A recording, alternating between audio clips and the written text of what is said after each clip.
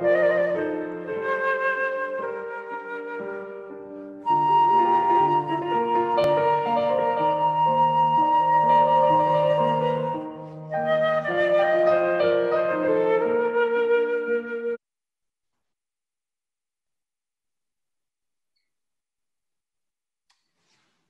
everybody.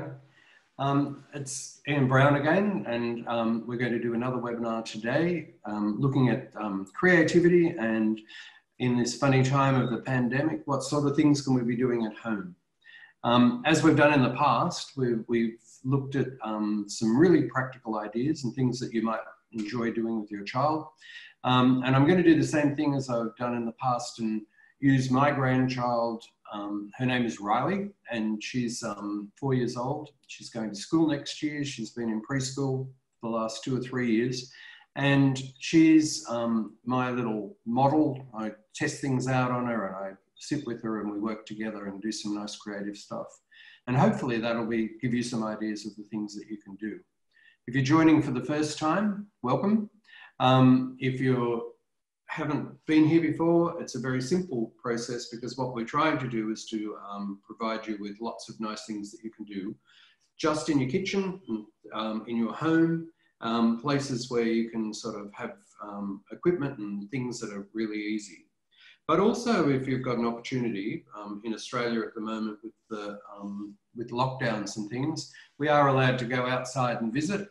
And so what we're going to do today is um, we're going to actually have a look at um, a sculpture walk that Riley and I went on together um, and have a look at some of the sculptures and see how that you might be able to use something similar in your, your hometown um, that you could actually do with your um, child as well. Now, what we always do is what we've been doing in the last few weeks is we always start off with some sort of activity and then we move from the activity into a bit of theory and then we talk about um, the Voices of Children project at the end.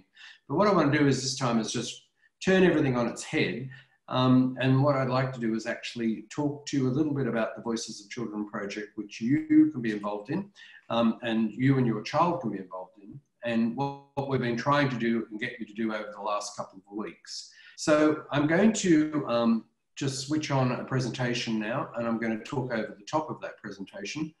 Um, and so hopefully we um, this will work and you'll be able to see my PowerPoint presentation. You'll see my messy computer desk.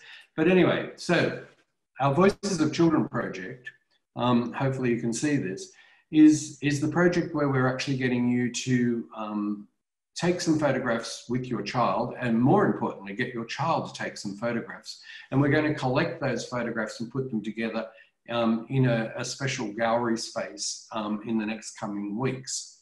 Now, the first two weeks, um, what we got you to do was to actually um, take some pictures of your children drawing.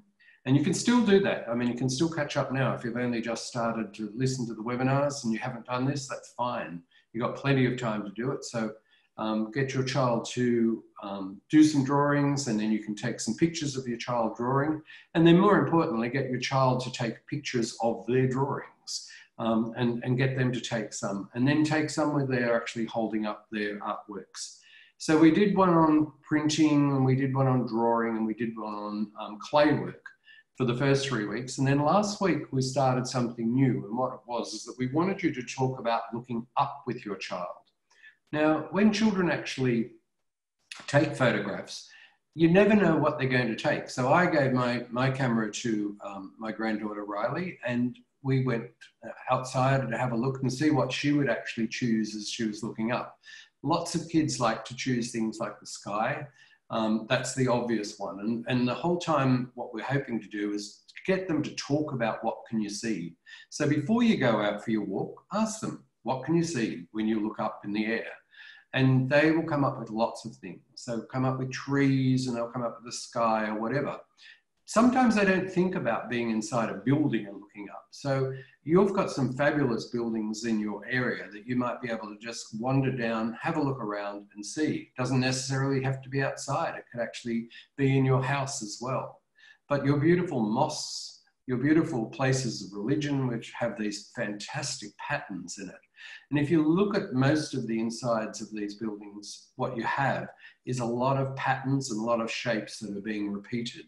And you could talk to your child here about um, things like symmetry, because I mean, all of um, a lot of the mosques that you can actually go into as a public member is that you will look at them and you'll find that they're actually divided into symmetrical shapes. In other words, you can slice that shape in half and look on each side of it, as you do in this photo, and fold it over as if you're just folding it and it will actually match up on the other side. So that's what symmetry means.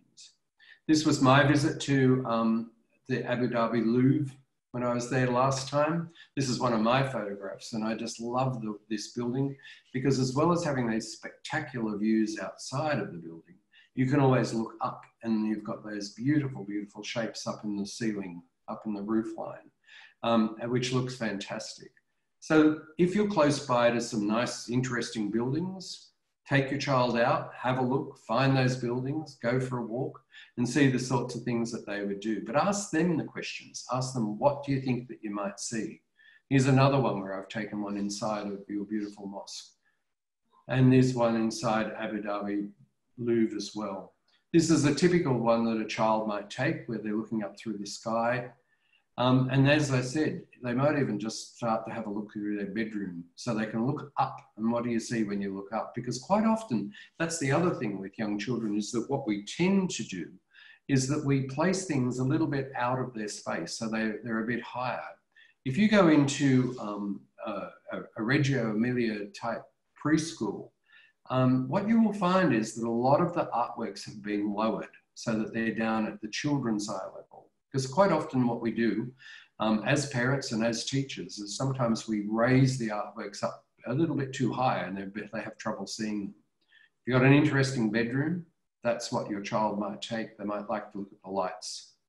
Now, this is when I put my granddaughter, we went for a drive, and this is her father's car, and she decided that she would start her journey of looking up. Now, these photos have been taken by her.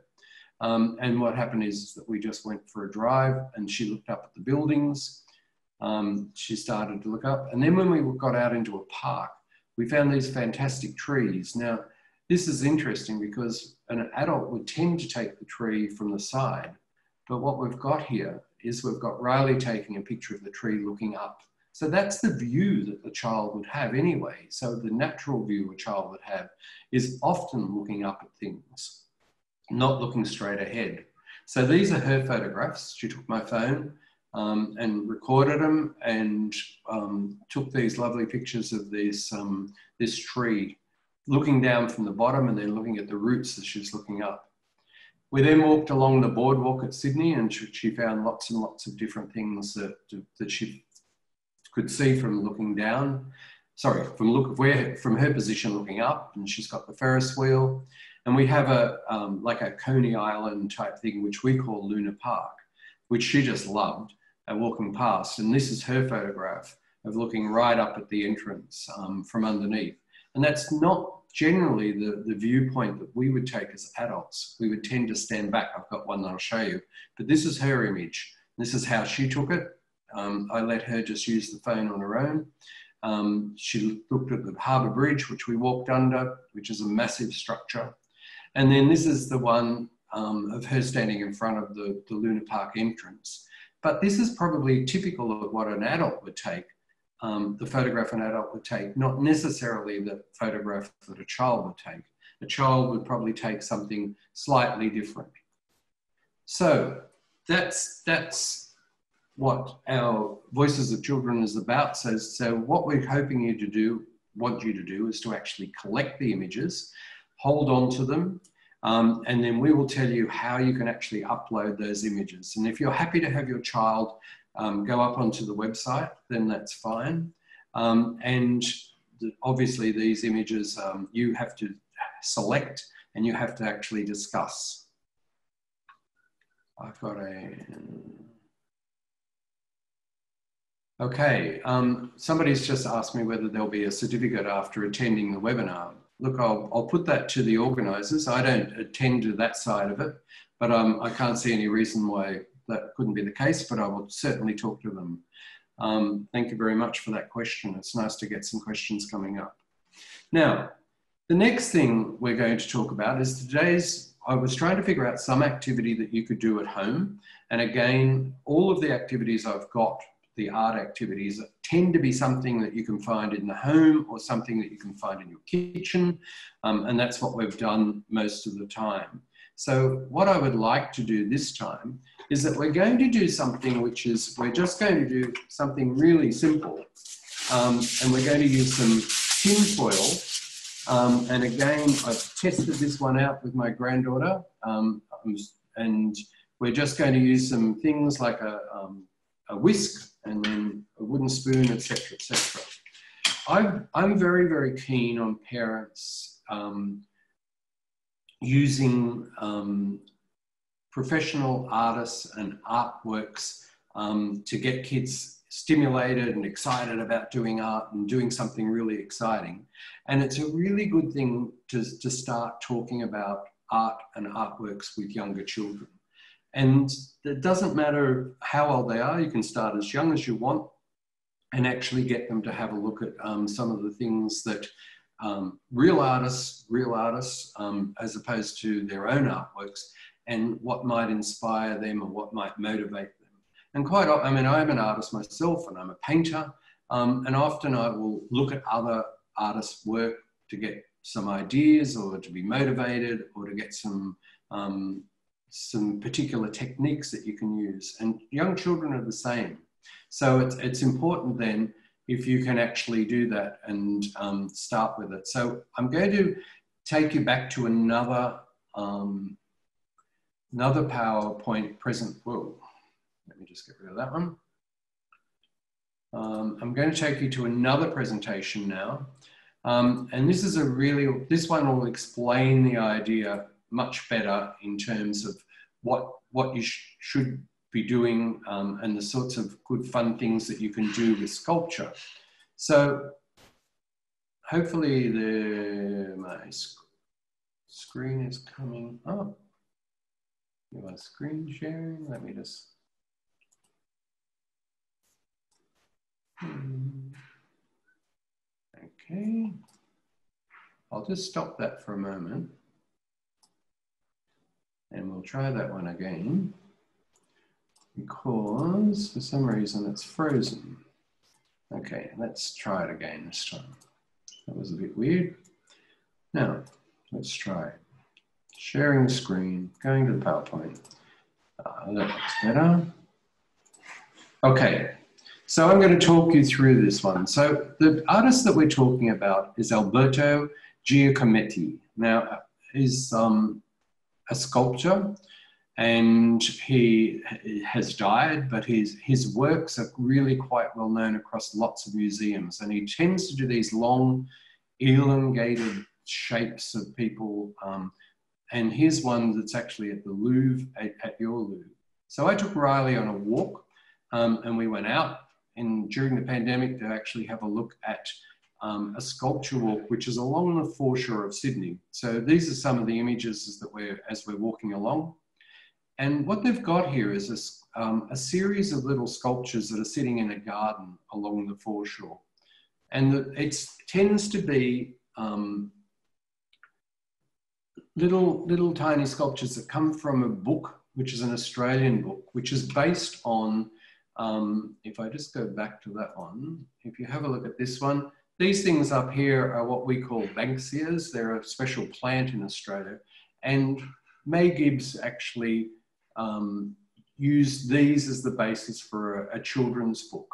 And so all of these little figures that we have here are, are little figures that have actually, if I just go back one, um, they're little figures. This one's a, of a koala called Blinky Bill. And this sculpture walk just takes you along and you can just take it sort of like a little treasure hunt to see if you can actually find the sculptures along the way. They're all made out of bronze and um, some are made out of clay. And so what we did was we just went along until we could find this little walk and we started to talk about sculptures and the sorts of things that you can see. Now this one is the, the face of that Luna Park, which is quite well known. I'll just go back to that one. And if you look at that one, you can see that it's um, really popular with children. They like the idea of it. Now, the other thing that I've been doing here is if I just go back one, the photographs on the left, you'll notice here, Riley's actually taken, I've taken a picture of Riley with the sculpture. The one on the right is actually her photograph that she's taken with my phone. And so what I've included here is the same thing. Here's a picture of her here with this funny little guy. And this is the photograph that she's taken. This is a photograph of her with the sculpture. And she took my phone and then she took this photograph here.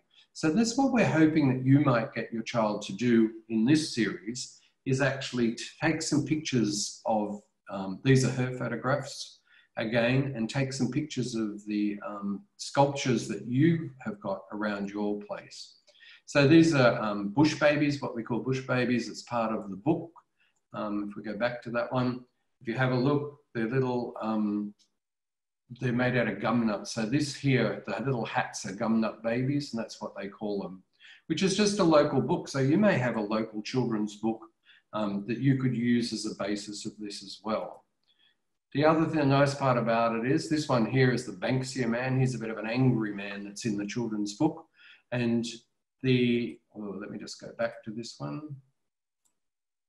These are the Banksias that grow in the tree, and this man is sort of a representation of them.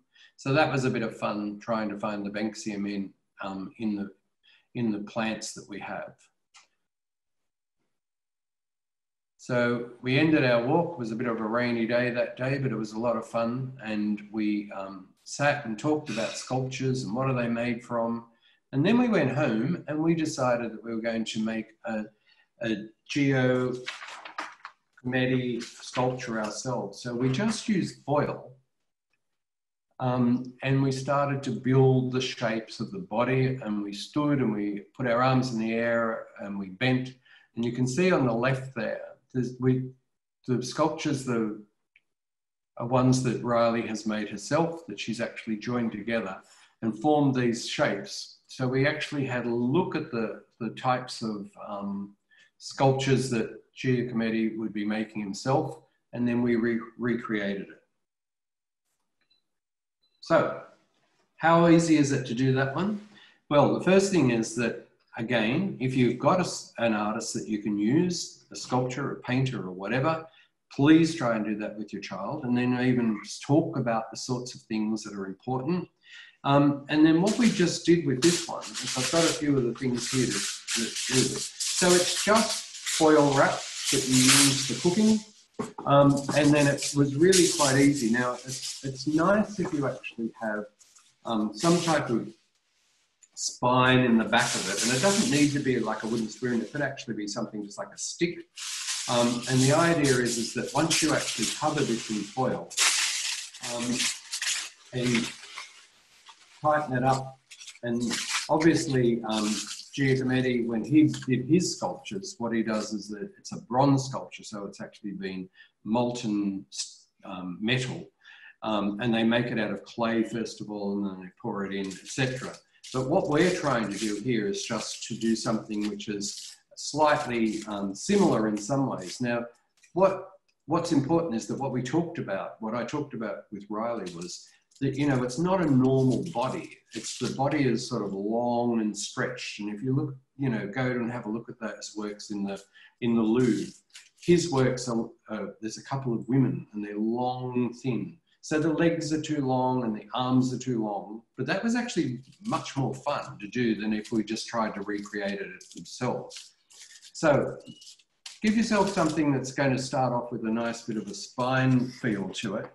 And then what you do is that you can then start to use the bits of foil, very, very cheap, very sort of, and get the kids to the children to actually um, you know, make shapes and do things like that.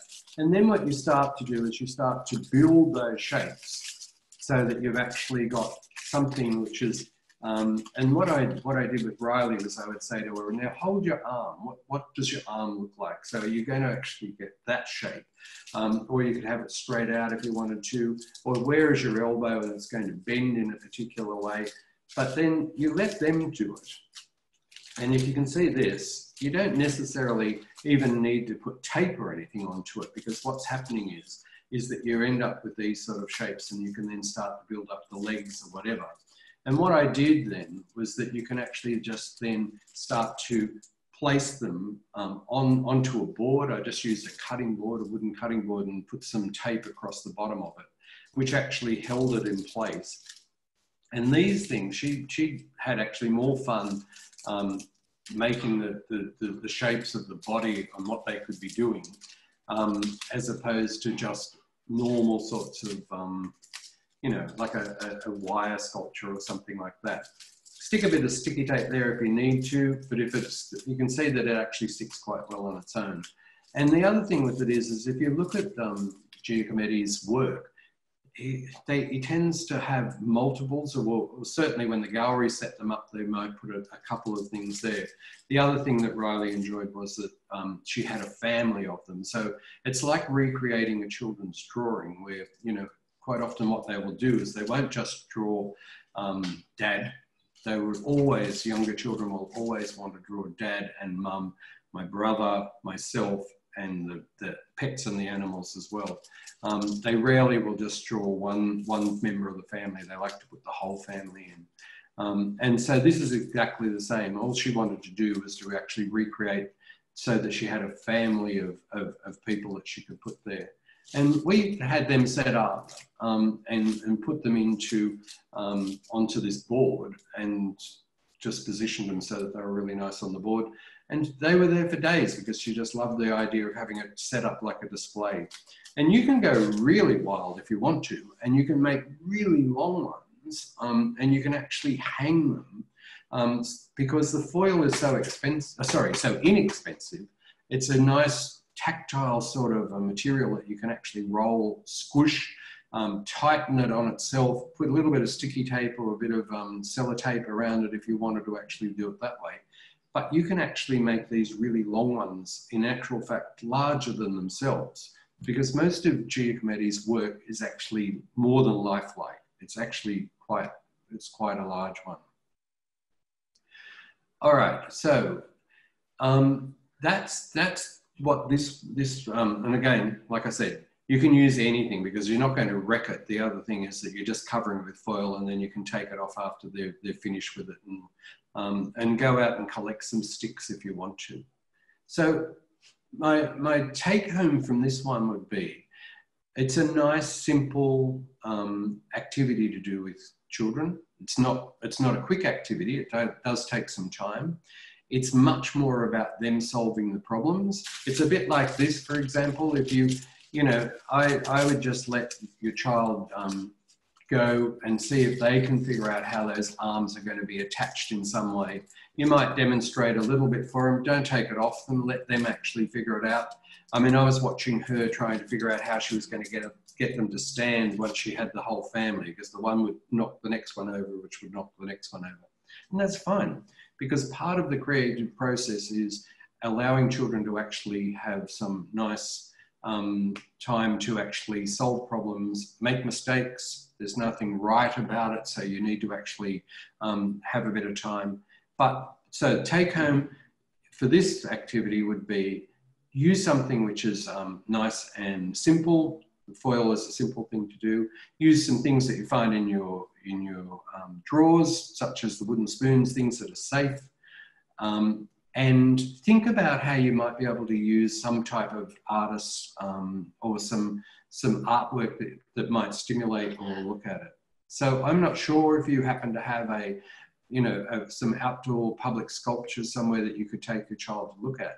You could combine this activity with your Voices of Children activity. That's why I showed that one first, because you might combine those two and you might take them out to take some photographs of looking up um, at some sculptures, you know, in, in somewhere on, the, um, on your walk. You tend to find there's not very many places in the world now that don't have public sculptures um, as part of the, um, the environment.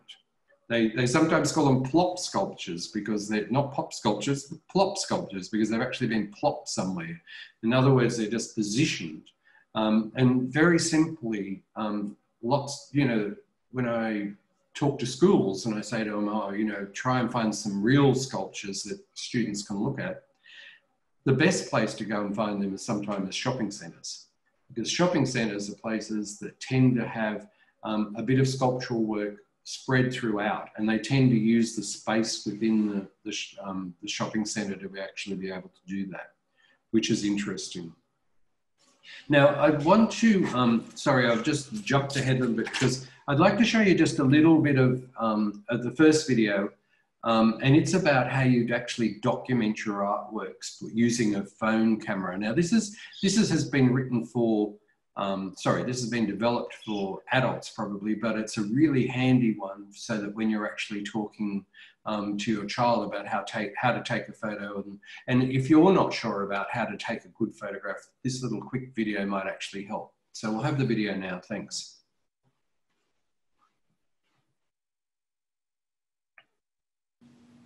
This video will show you how to document your artwork with your camera phone so that it can be critiqued and graded in an online class. Begin by finding ideal lighting for your photographs. Most camera phones work best in natural light, so the best option is to find a location with ample but even daylight. This kind of lighting is best for colors and sharpness and prevents the appearance of distracting hot spots and shadows in your images. Indoors, the best location is usually in front of a window when sunlight is not direct or you have curtains that diffuse the light. If you don't have a bright enough indoor location, take your photos outdoors in a shaded area or on an overcast day. If your work is on paper, mount it first to a flat surface, such as a drawing board or a piece of foam core. You can place your work on an easel or on the back of a chair, or mount it on a wall. Place the work either facing the window or under the window to avoid uneven side lighting. Also, make sure you're not standing between the work and your light source when you're photographing. Turn off any artificial light as mixed lighting will distort the colors of your images and is very difficult to fix afterwards. If your artwork is a painting or a drawing, place the work as flat as possible. Make sure the lens of your camera is parallel with the artwork, the lens pointing directly at the center of the artwork. This way, you'll capture the dimensions accurately. If your artwork is leaning, you'll need to adjust your camera angle accordingly to avoid distortions. If you're photographing three-dimensional work, create a background that is as empty and neutral as possible. To make sure the images remain sharp, you can use a tripod with a phone mount. If you don't have these, using a chair back or any other flat surface to rest your hand on will help minimize the movement that can blur your images. Leave a bit of room on the edges of your image to avoid accidentally cropping out any parts of your artwork. You can easily do further cropping in post-production. On your camera screen, turn off your camera's flash. Next, check the focus and exposure of your image. You can adjust the exposure level a few steps if the image seems either too dark or too bright.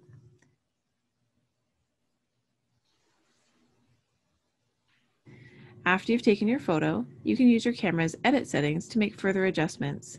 Crop out the remaining background to create a clean image. You can also do other editing on your phone, such as adjusting the exposure, colors, and perspective. However, it's recommended to keep this to a minimum as it's easy to overdo. You can also export your image and edit it with photo editing software of your choice. Once you've made the final adjustments to your image, you're ready to submit.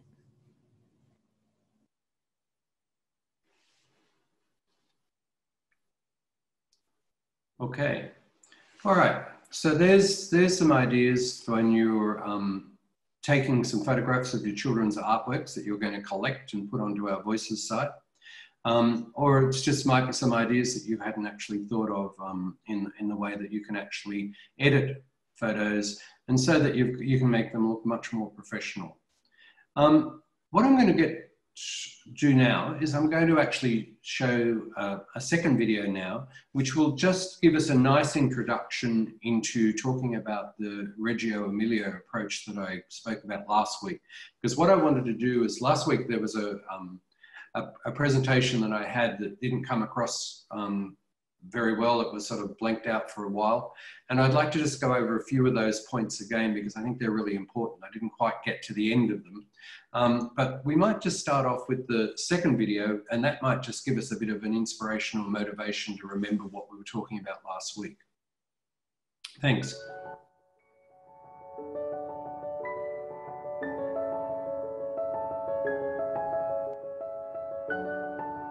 To me, Nido represents quality.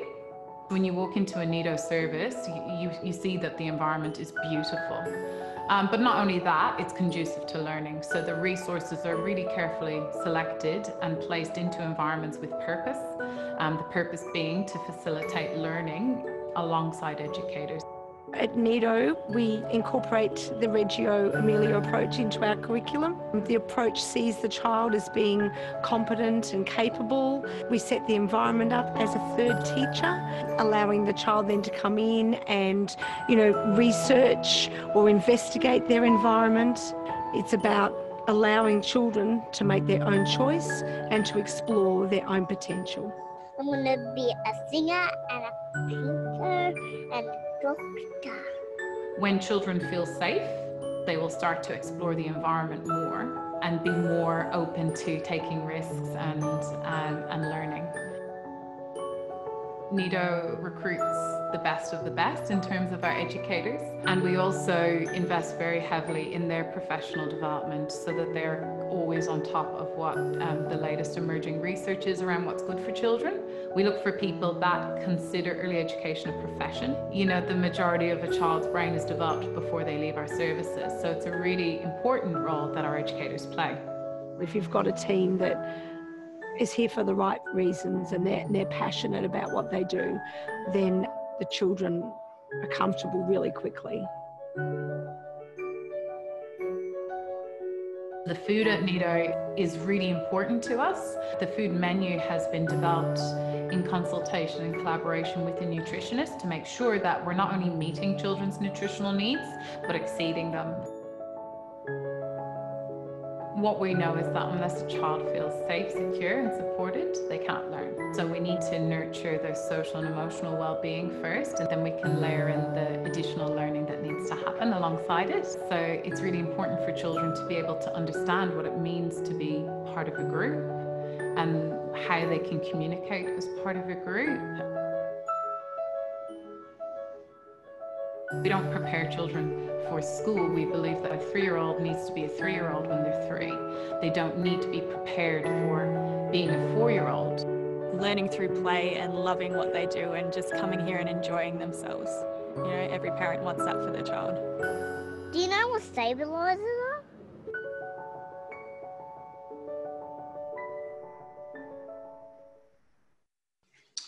Well, that was just a little um, video from um, one of the early learning centers called Nido.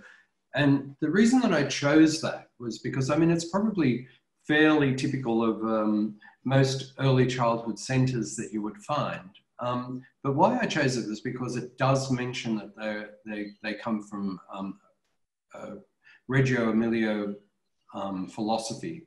And just to very quickly recap, um, you know, the, the Reggio approach um, is not necessarily a, a, a, model, sorry, it's not necessarily a philosophy, um, and it's not necessarily a theory about how children learn, but it's much more about, um, it, it's a model for education, and that's, they, they've adopted it. That would have been a really lovely video to actually splice into sections and have a look at it and sort of see, well, what is it that they're doing at that early learning center? um, that means that they're sort of adopting it. And what I've been trying to do is because this, this whole series is about parenting in a pandemic um, and the sorts of things that you might want to do with your children um, at home so that you can actually help them. And especially if um, they know that there are lots and lots of people have their children at home at the moment and can't even send them to, um, to their early childhood centres, then what some of the things that you might be able to adopt. And the, is there some things about this Reggio Emilia approach to um, education for, for preschoolers? Um, is that something that you could possibly um, do in your home to, to get that way? So I'm just going to um, open up a, a, another presentation, the one that hopefully this one will work. Last, last week uh, we were a bit disappointed because it didn't actually um, come through. And let me just get rid of that one. And we'll click on this one. Um, all of this high tech stuff, and I'll come down here to share my screen. And we'll go to this one and share and hopefully I'll keep my fingers, well, we won't do that one. Let's go back to the beginning. Um, and hopefully we, um, you are now seeing it and I won't have to rush through it like I did last week where you missed most of it. Because I got some lovely photographs here that I think that you might enjoy as well. So very, very quickly recap because um, we haven't got much time. But Reggio Emilia is, um, is the name of a town. It's the name of a town in Italy. Um, and after the Second World War, what happened was that they um, developed a, a, model of education that they thought was important, and it's one where um, it has some particular um, differences to the, the to the traditional um, type of education that was happening at that time. So it has impacted a lot across the world. Um, and it's impacted a lot on the way that we teach children and the way we think about children, more importantly. Um, and these are some of the some of the dot points or the things that are, are, important. And while we're going through this, it would be really nice if you could actually just think about, well, what what could I do at home to do this one? And so the first one is that they enhance learning in the centres through real life experiences. So that's talking about, um, you know, children doing things, not just being told about what things are about. It's a bit like my little sculpture walk. You know, I could have, I could have spent a couple of hours talking about, you know, artists and sculptures and what is a sculpture and what is it made from with Riley. But taking her out and giving her a real life experience of actually walking along and looking at the sculptures and touching them, photographing them, spending time with them. All of those things is what was enhancing the learning. And at the end of it, she had a really good grasp of what a sculpture was. And the funny thing is, she said to me at one point, you know, a water bubbler, what we call a water bubbler, which is where you, you know, get water from. Um, she said, a bubbler is not a sculpture, you know. So I thought that was quite clever because she'd figured out that even though it was a structure and it was made from steel, she didn't think it was a, a sculpture because it just it wasn't creative enough.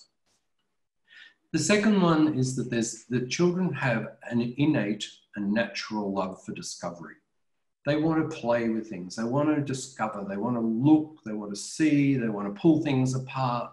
They, you know, they, it's just a natural thing. And sometimes what we do is um, what we do with children is that they actually end up um, sort of we move away from that act of discovery um, in some ways. So what we do is that we sometimes set up things for them and they they can't discover. So as a parent, um, think about the sorts of things that you might be able to do with your child where they're actually discovering new things. The other one is respect for others. This is an interesting one that um, the Reggio Emilia approach um, really pushes. And that's the idea is that children need to socialize and understand and grow up with other people. And one of those things is that they need to respect others. Now that's something that young children sometimes don't know how to do, and sometimes they, they, you know, they will get into fights and there'll be a bit of conflict, or they, they snatch away a toy. So one of the things that needs to be is that they need to be taught how to respect, and so therefore you need to actually set up some type of activities where they can actually work together.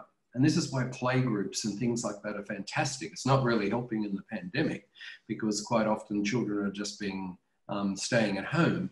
But the, the Reggio Emilia approach would, would say that they need to work in groups and that so that they respect others' ideas and they respect others' property and they respect um, so that somebody else can actually have a go. So their office, their philosophy is the, what they refer to as the image of the child. And the image of the child is that they are imaginative, and they're curious and they're creative. And that's the important thing about all of these webinars that we've been presenting is that we need to figure out activities that we can do at home that keep children curious, use their imagination and allow them to be creative. Children are capable of constructing their own learning. Now that's an interesting one because that's when they talk about the idea of, you know, if the, the curriculum is not set in concrete and the curriculum can actually change and your child could do the same thing. One morning they might be excited and interested in their toys. Another day they might be excited about things like their pets, and it may change from day to day. But what happens here in this approach is that the children are actually the ones that are leading in the constructing of their own learning. Parents should be able to provide a rich learning environment and support. So that means having things on hand, gathering things, things that are safe, but things that are interesting. I mean, this is this lovely little photograph here. You know, there's there's bits and pieces in there that children would find fascinating that we wouldn't even think to, you know, to gather together. So there's lots of textures, there's lots of shapes, and you could do things with shapes, and then you could do things by sticking down with textures. You could do things by grouping, just putting those things back together, put all the rocks together, put all the screws together, put all the paper clips together, um, allows children to actually um, work in that manner. It's child centered and it's project based. So, in other words, what it is is the child is the center of the learning, um, and quite often it will be a theme based of some type. There should be new learning opportunities which are coming from play. Children enjoy playing, um, and then once they're playing, that's when they're starting to learn things about respect. They're learning about problem solving. They're learning about sharing. They're learning about um, not everything's the same. I'll just see what this one. Um, children should take risks, explore, explore and investigate. Quite often what we do is we put them into a bit of a bubble. Um, and so children need to be able to do that. Learning should be social. So in other words, in a Reggio Emilia approach, they, they, they put children together around tables, they work together as a group. There's lots of group activities happening. Children like to work on their own sometimes, but it's also good for them to socialize. They also say that conflict is okay, as it allows children to argue, discuss, and reason. Um, and there's nothing wrong with that. Um, children need to respect others and listen to different opinions. So it's quite common in these classrooms for somebody to actually, um, in these centres, for somebody just to say, wait, listen. Somebody else has got something to say, listen to what they've got to say, um, rather than just sort of going ahead. Parents can support the learning. Now, if this is an important one, so what it's saying is, how do you balance this out as a parent? How do you how do you not take over the learning, and how does it become constructive for the child, so that you're there as a support person. You're not person that's actually leading it. So parents can stand back and look at their children. They can observe what they're doing, learn from what the children are doing. You know, this is the, there's lots of things that I, um, I know that when I'm working with my grandchildren now, and I'm not working in a centre um, because I'm, I'm not, a, I can't get to centres at the moment. Um, so I'm learning a lot from my grandchildren, and they and they come up with the same sort of things. I can learn from them. Okay, so I'll just get rid of that, and I'll stop sharing. And so what I'd like to do now is I'm just going to show the, um, the third video, which just sort of sums up exactly what I've been talking about. Can I have the third video? Thanks. Every year of a child's life is precious, but when it comes to development, the first seven are the most important. This is when a child becomes the person they are going to be. It is when they develop a sense of self-worth and confidence in a variety of social contexts that will remain with them for life. At Reggio Emilia Early Learning Centre, topics of interests are captured by talking to children. The educator takes the child's interest and turns it into a learning process and allows the child to share and develop their own knowledge with the educator and their peers. Children learn about themselves and the world around them through investigation and discovery. The Reggio Emilia approach considers collaborative group work, both large and small, to be extremely valuable and necessary to advance all areas of development such as language, cognitive and social development. Children are encouraged to dialogue, analyse, compare, negotiate, conceptualise and problem solve through group work and project work. Our educators are passionate and driven professionals who undergo special induction process when they join, followed by monthly training sessions. Reggio Emilia Early Learning Centres are easily accessible to all our parents. Book a tour now. Enrolment's open. Phone 02 9891 2225. Email mail at reggioemilia.com.au. Okay. All right. Sorry if that sounded a little bit of like an ad for a, a particular um, learning center. It wasn't really. I just was more interested in the first part of it, which have sort of summarized all of those dot points that I talked about.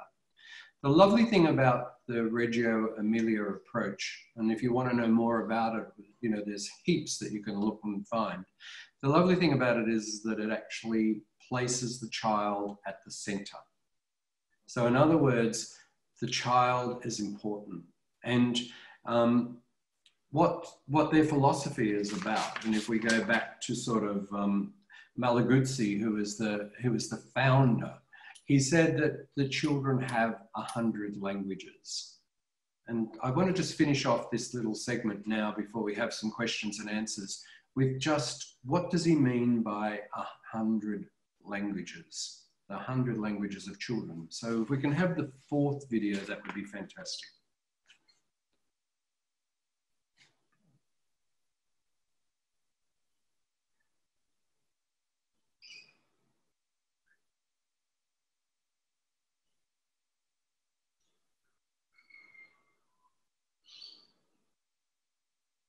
The hundred languages.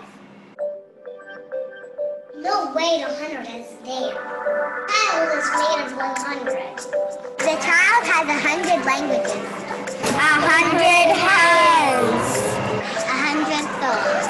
Hundred ways of thinking. Way of speaking. A hundred's always a hundred. Ways of listening, of marveling, of loving. A hundred doors for singing and understanding. A hundred worlds to discover. A hundred worlds to invent. The hundred worlds to read. The child has one hundred languages. And a hundred, hundred, hundred more. It's still ninety-nine. The school and the culture separate the head from the body. They tell the child to think without hands to do without hands. To listen and not to speak. To understand without joy. To love and to marvel only at Easter and at Christmas. They tell the child to, to discover the good world already there. And of the hundred, they steal 99. They tell the child that work and play. Reality and fantasy science and imagination. Sky and earth, reason and dream. Are things that do not belong together. And thus they tell the child that the, that the hundred is not there. The child says, No way, the hundred is there. Okay, I love it. The hundred is there. So what, what they're saying is that poem was written by Malaguzzi and you, uh, and if you see it a couple of times, you can understand it better. But what it's saying is that, you know, that children should be able to sort of explore and understand and look at things and um, and look at it from a child's point of view. So it's not necessarily what it, it's interesting. It sort of gives you the impression that you know once they start school, a lot of that lovely innate um, inquiry that they have is sometimes taken away and, and we know that, and, and in fact, that's right. Um, you know, there, there are some schools that are still very formalized in the way that they approach things, which is a very different way. But hopefully, um, early learning centers and early childhood centers um, shouldn't operate in that way. They should be just the opposite. It should be a place where children can explore and play and try and make an understanding of the world. So what, is, what does that mean? Let's just bring it all together because we've had like um, two weeks now where we've the webinars have actually tried to explain the idea of um, what this approach means. Um, what does it mean for me in my my house? You know what what sort of things can I do to help my child? And so what I would like to put out there and just ask you is, you know, why is why is creativity important? What is it about creativity that's, you know, it's it's about, you know, it's not necessarily the science, the maths, or whatever. So creativity is about visual arts. It's about dance, it's about music, and it's about all of those things.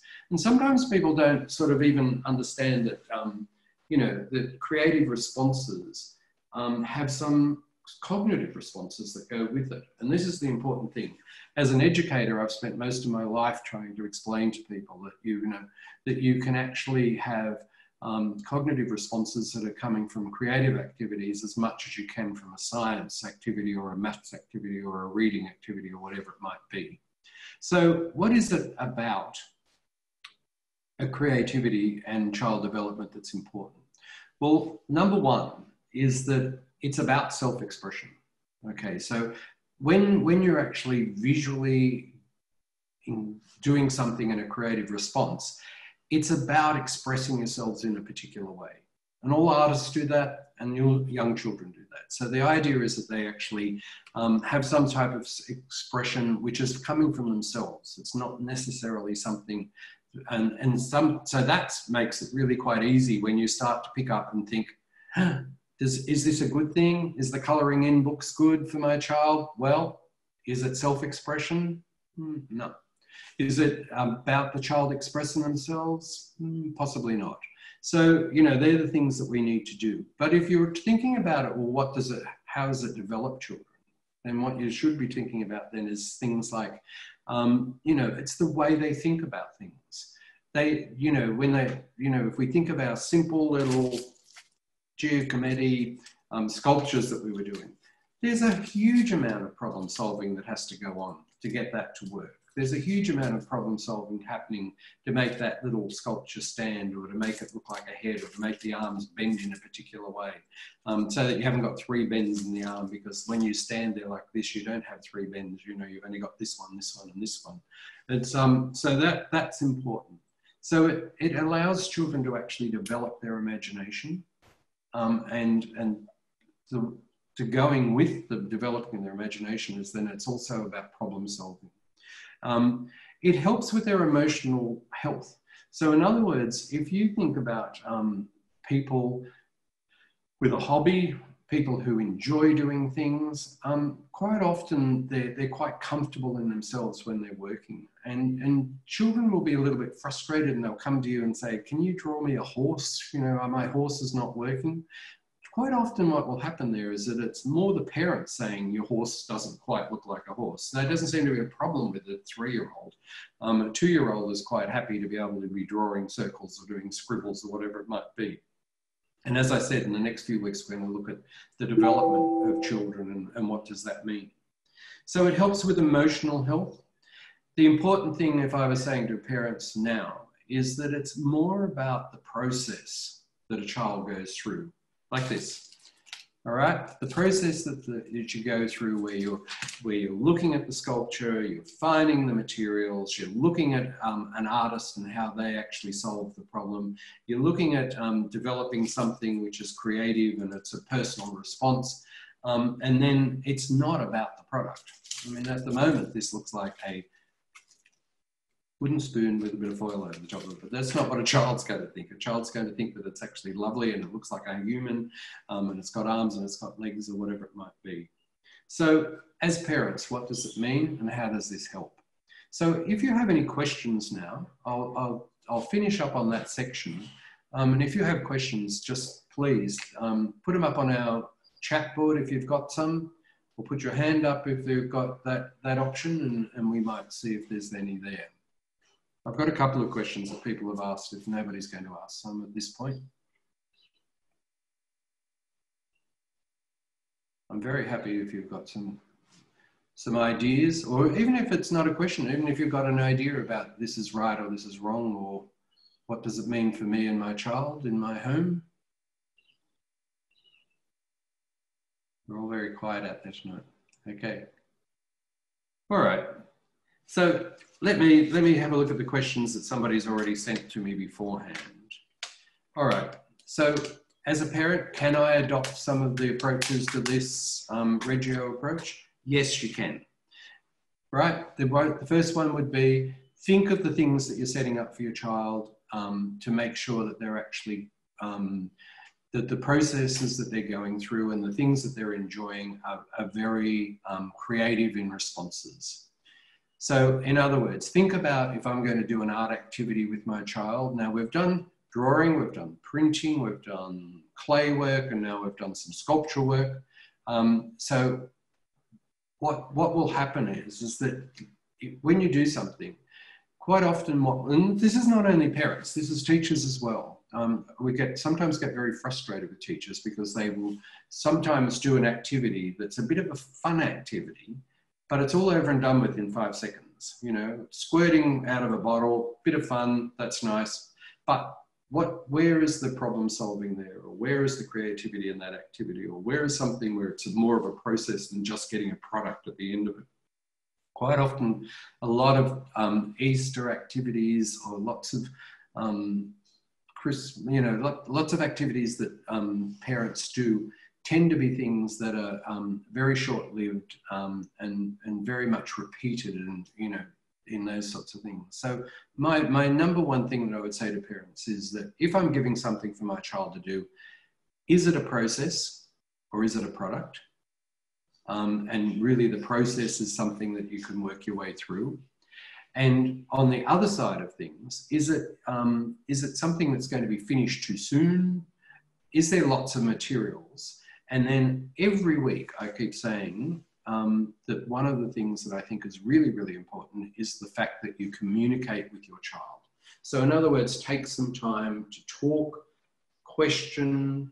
Um, if we take that first activity that I had where we went for our sculpture walk, when you take your child for a sculpture walk in the next week, um, or if you take your child out with your camera and your iPad and your digital um, and your iPhone, and you're talking to your child about looking up or looking down, because I've got two themes now, looking up and looking down. Talk to them about what can you see. Get them to close their eyes and say, you know, put your hands over your eyes and say, if you had your eyes shut and you had to picture what was above you, what do you think might be there?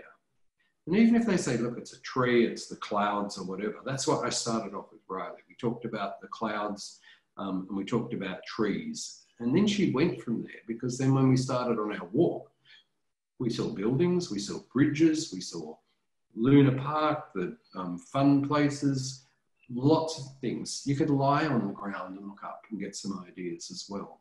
So when, when you're doing this one, and this week is about looking down, um, uh, let me assure you, when we did the Voices of Children project, which went across 14 countries, the most things that we got from children without being told to look down was they took pictures of their shoes or they took pictures of their shadows. So I'm going to be really interested to see this week whether, whether children, your children, actually decide to take pictures of shadows because that was a really fascinating one for them. So look for those sorts of things. When you think about, you know, Lawrence, Loris Malaguzzi from the Emilia approach, he said this, he said, creativity became more visible when adults were more attentive to the cognitive processes of children than they were to the result. So let's unpack that in this last minute and a half. What does that mean? Creativity becomes more visible when adults were more attentive to the cognitive process, processes. So in other words, if I'm just setting up a little activity for children to do, which is about problem solving or it's about um, you know, being creative and it's about getting those cognitive processes happening and thinking and applying and doing things, then that was much more visible when adults were attentive to that than they were when they were just looking at the result. So in other words, it does, you know, the, the colouring in picture is a good example of that one. So children need to encourage, they need to be encouraged and they need to be supported um, and to develop their creativity. And your role as a parent is to make sure that you've got some activities for them to do and as well as some activities to do some resources that they can use and what i've tried to do over this this whole idea is to use cheap resources that you can find in your kitchen um, in your kitchen drawers so at that point i think i might just leave it there And I hope that um, next week we're going to do some interesting things. We're going to be messy next week. Um, it's not going to be a nice, tight little um, activity. We're going to do some messy, messy activities. Um, and we're going to do some things like make some paints and do outdoor activities and etc. etc. So until next week, thank you for your attention and I hope you enjoyed today. Thank you. Bye.